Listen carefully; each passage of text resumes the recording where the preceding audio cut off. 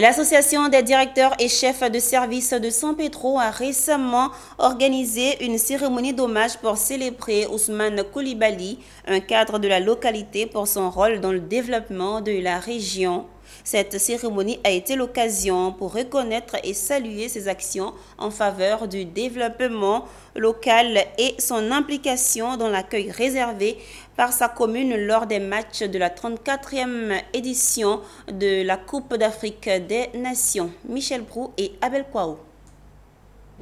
Ousmane Koulibaly était à l'honneur dans la localité de San Pedro où il a reçu la reconnaissance de ses pères, amis et familles depuis sa prise de fonction en 2011.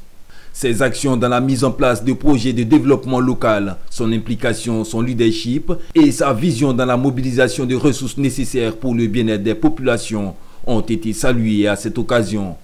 Cette journée d'hommage de l'Association des directeurs et chefs de service de San Pedro a été meublée par des activités socio-sportives à l'école centenaire de la cité, notamment le tournoi interservice hommes et femmes. C'est un moment de joie et de satisfaction. Nous sommes très heureux et très contents d'honorer notre patron, monsieur le préfet de région, préfet du département de San Pedro.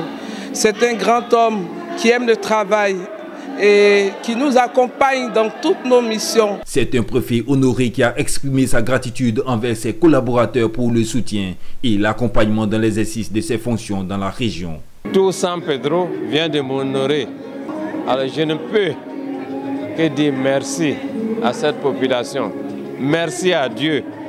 Merci au chef de l'État qui, à un moment de ma carrière, a cru en moi en m'envoyant ici à San Pedro.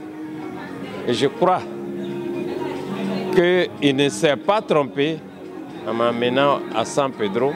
Après, toute la population de San Pedro, aujourd'hui, reconnaissante, est venue m'honorer.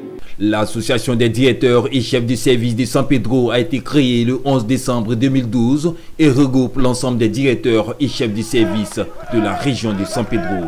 Cette association a pour objectif d'unir les membres et de créer des liens de fraternité, d'amitié, de solidarité.